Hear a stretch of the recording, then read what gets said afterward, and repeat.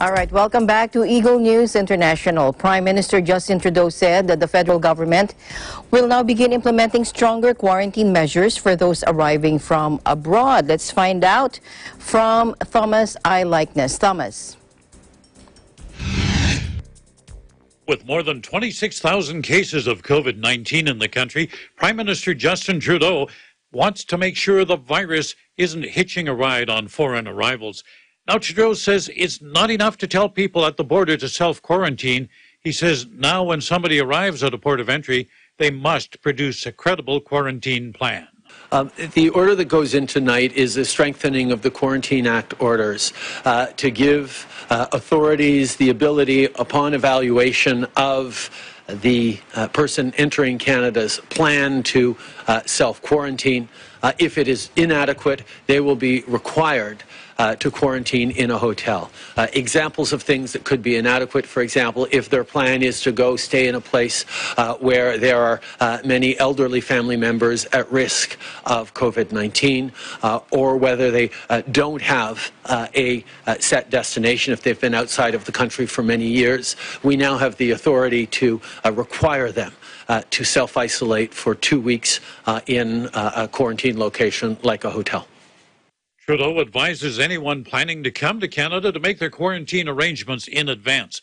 Now, the government is also helping farmers and food processors who employ migrant farm workers. You see, each year about 60,000 people come to Canada on temporary visas. They come here from other countries to work on farms and in food processing plants. And like all others coming to Canada, they have to be quarantined for 14 days. To help offset the cost of this, since they can't work until after the quarantine, the government is giving employers money to supplement the salaries of the migrant workers and also to help pay for the quarantine accommodation. Here's the COVID 19 situation in Canada. We've reported more than 26,000 cases of the infection. Sadly, there have been more than 820 deaths. Ontario and especially Quebec are the two provinces most affected, they account for 80% of the cases in Canada, more than 21,000. The virus is ravaging the seniors population. It's, it's hit dozens of nursing homes in both provinces. There's a report that in Ontario, in one nursing home, there's been 19 deaths, and 73 of the home's 101 residents have tested positive for COVID 19.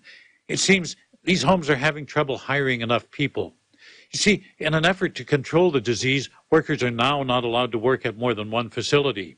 One job, one facility, that's it. And this has created part of the shortage.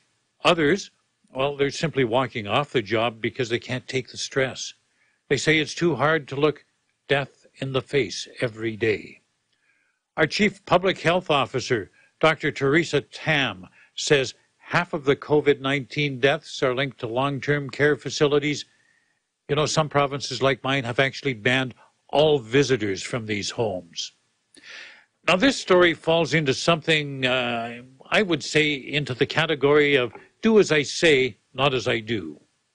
You see, our national leaders have been telling us we must follow the rules, but then they turn around and exempt themselves. I'll give you an example. This past holiday weekend, public health officials told us not to travel, not to visit, to stay in our communities. Don't don't go anywhere else. Stay in our homes. Don't visit friends. Don't visit relatives. Message is pretty clear. All right. First of all, on Saturday, we have two top politicians here, the opposition leader and, and the prime minister. Well, Saturday, the opposition leader, his name's Andrew Scheer, he had to go to the capital of Ottawa for important parliamentary business. And, and that's allowed. That's important. He should be there. So he got on the government chartered plane to go to Ottawa except he brought his wife and kids with him. They're supposed to be at home, not going to Ottawa with him to do some sightseeing. You see, we, the unwashed, are told we can't do things like that. So the following day, Prime Minister Justin Trudeau decides the rules don't apply to him either. Now, this is funny because at his daily briefing today, this is what he told us. We all need to do our part. We can't let up now. So, to everyone, stay at home.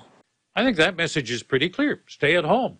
But, Mr. Prime Minister, why do you not follow that advice? Why, why didn't you do that this past weekend? Why did you drive to another community?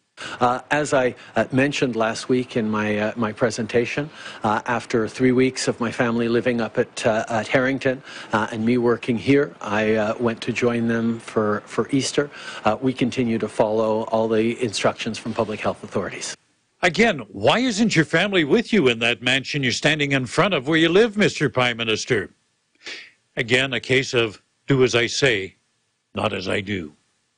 In the meantime, I wish you all good health. Take care of others and take care of yourselves. Stay home, stay safe, and stay tuned to Eagle News for accurate and balanced coverage of the COVID 19 pandemic. Thomas I. Likeness, Eagle News. We live in interesting times news.